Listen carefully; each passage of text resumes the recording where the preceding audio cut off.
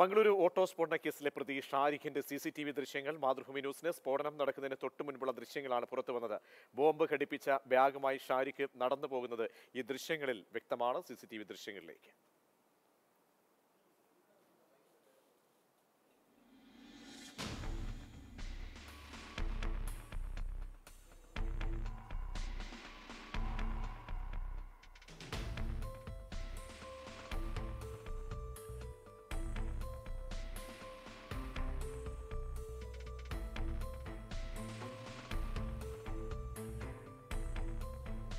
K B ശ്രീധരനുണ്ട് വിവരങ്ങൾ നൽകാൻ. ശ്രീധരൻ ഈ നിർണായക സി സി ടി വി ദൃശ്യങ്ങളാണ് ഇപ്പോൾ പുറത്തേക്ക് വന്നിട്ടുള്ളത്.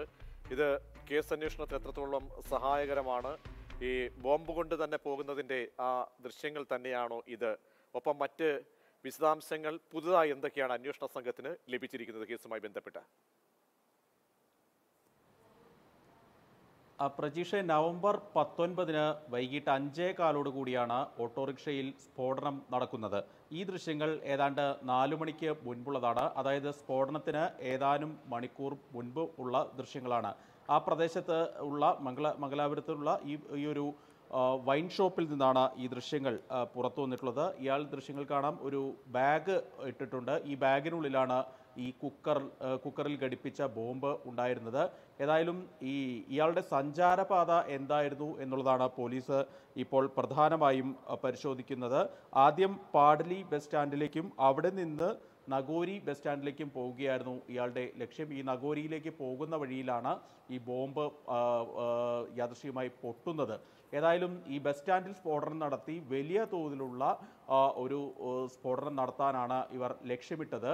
ഏതായാലും അത് പാളിപ്പോയി. അതുകൊണ്ട് തന്നെ വലിയ ഒരു കാഷ്വാലിറ്റിയിലേക്ക് കാര്യങ്ങൾ പോകാതെ കഴിഞ്ഞു എന്നുള്ളതാണ് ഏറ്റവും ഭാഗ്യമുള്ള ഒരു കാര്യം. മറ്റൊരു കാര്യം ഈ കേസിന്റെ അന്വേഷണം മുന്നോട്ട് പോകുന്തോറും ഞെട്ടിക്കുന്ന വിവരങ്ങളാണ് ഇപ്പോൾ പുറത്തു വന്നുകൊണ്ടിരിക്കുന്നത്. ഏതായാലും ഈ സ്ഫോടനത്തിന്റെ മുഖ്യ സൂത്രധാരൻ അബ്ദുൾ മദീൻ താഹ എന്നുള്ള അൽഹിൻ സംഘടനയുടെ സജീവ പ്രവർത്തകനായ സൗത്ത് ഇന്ത്യയുടെ ചാർജുള്ള അബ്ദുൾ മദീൻ താഹ എന്നുള്ള വ്യക്തിയാണ്. ഇയാൾ ദുബായ് കേന്ദ്രീകരിച്ച് പ്രവർത്തിക്കുന്ന ആളാണ്. ഇയാളുടെ നിർദ്ദേശപ്രകാരമാണ് മദീനും അതുപോലെ തന്നെ മറ്റ് പ്രതികളായ അഷ്റഫ് അലിയും നാസിർ ഹുസൈൻ ഉൾപ്പെടെയുള്ള ആളുകൾ തന്നെ മുഹാസിർ ഹുസൈൻ ഉൾപ്പെടെയുള്ള ആളുകൾ തന്നെ ഈ കേസിൽ അല്ലെങ്കിൽ ഈ സ്ഫോടനം ആസൂത്രണം ചെയ്യുന്നത്. ഇതിന്റെ ഫണ്ടിംഗ് മുഴുവൻ ഈ മദീന്റെ നേതൃത്വത്തിലായിരുന്നു കോയമ്പത്തൂർ. സ്ഫോടനവുമായി ബന്ധം ഈ കേസിന് ഉണ്ടോ? കാരണം മൊബിനുമായി ബന്ധം ഉള്ളതായിട്ടൊക്കെ തന്നെ പറയപ്പെടുന്നുണ്ട്. അങ്ങനെ എന്തെങ്കിലും സ്ഥിരീകരണം ലഭിക്കുന്നുണ്ടോ പുതുതായി? അങ്ങനെയെങ്കിൽ ഈ എൻ ഐ എ ഈ കേസ് രണ്ട് ഏറ്റെടുക്കുമ്പോൾ കുറച്ചുകൂടി കാര്യങ്ങൾ എളുപ്പമാകില്ലേ? അങ്ങനെ ഇതിനെ തമ്മിൽ ഈ രണ്ട് സംഭവങ്ങളെയും തമ്മിൽ ബന്ധിപ്പിക്കാവുന്ന കാര്യങ്ങൾ എന്തൊക്കെ പ്രതികളുമായി ബന്ധപ്പെട്ട് ലഭിച്ചിട്ടുണ്ട്?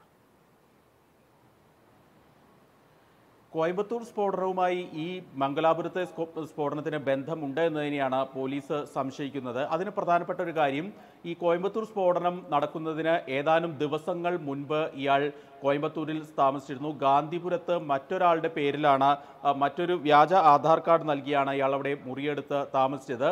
ഈ കോയമ്പത്തൂർ സ്ഫോടനത്തിലെ ചാവേറായ ജൊമേഷ മുബിനുമായി ഇയാൾ കണ്ടിട്ടുണ്ട് എന്ന് തന്നെയാണ് പോലീസ് കരുതുന്നത്. ഏതായാലും ഈ വ്യാജ ആധാർ കാർഡ് ഉൾപ്പെടെയുള്ളവ നേരത്തെ തന്നെ കണ്ടെത്തിയിരുന്നു.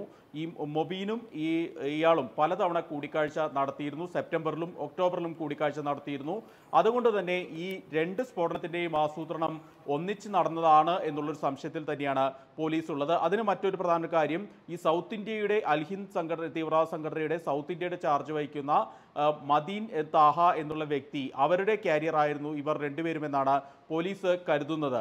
അതുകൊണ്ട് തന്നെ ഈ സ്ഫോടനത്തിന് രണ്ടിനും തമ്മിൽ സമാനതകൾ ഏറെയുണ്ട്. കാർ ബോംബ് സ്ഫോടനവും അതുപോലെ തന്നെ ഈ ഓട്ടോറിക്ഷ സ്ഫോടനവും തമ്മിൽ വലിയ സമാനതകൾ ഉണ്ട്. ഭാഗ്യം കൊണ്ട് മാത്രമാണ് അതൊരു വലിയ തരത്തിലുള്ള സ്ഫോടനത്തിലേക്ക് വലിയ തരത്തിലുള്ള പ്രശ്നങ്ങളിലേക്ക് പോകാതെ കഴിഞ്ഞത് എന്നുള്ളതാണ് ഇപ്പോൾ പോലീസ് പറയുന്നത്. കോയമ്പത്തൂർ അന്വേഷണം ഇപ്പോൾ നിലവിൽ എൻ ഐയുടെ കൈവശമാണ്. അതുകൊണ്ട് തന്നെ എൻ ഐ എ സംഘം ഈ മംഗലാപുരം സ്ഫോടനം നടന്നതിന് തൊട്ടു പിന്നാലെ തന്നെ എൻ ഐ എ സംഘം മംഗളൂരുവിൽ എത്തുകയും വിശദാംശങ്ങൾ തേടുകയും ചെയ്തിരുന്നു. ചില സ്ഥലങ്ങളിൽ എൻ ഐ എയുടെ പരിശോധനകൾ നടക്കുകയും ചെയ്തിട്ടുണ്ട്. അതുകൊണ്ട് തന്നെ ഈ കേസ് അന്വേഷണം വൈകാതെ തന്നെ എൻ ഐ എയുടെ കൈമാറുമെന്ന് തന്നെയാണ് മനസ്സിലാക്കുന്നത്. ഏതായാലും ഈ രണ്ട് സ്ഫോടന കേസുകൾ തമ്മിൽ ബന്ധമുണ്ട് എന്ന് തന്നെയാണ് കർണാടക പോലീസ് കരുതുന്നത്. തമിഴ്നാട് പോലീസിന്റെയും കേരള പോലീസിന്റെയും സഹായത്തോടു കൂടി തന്നെ ഈ കാര്യങ്ങൾ ഈ അന്വേഷണം മുന്നോട്ട് കൊണ്ടുപോകാൻ തന്നെയാണ് നോക്കുന്നത്. ഏതായാലും കേരളത്തിൽ ഈ ഇയാൾ എത്തി ഷാരിഖ് ഈ കേസുമായി ബന്ധപ്പെട്ട് ഞെട്ടിക്കുന്ന വിവരങ്ങൾ ലഭിക്കുന്നു. അത്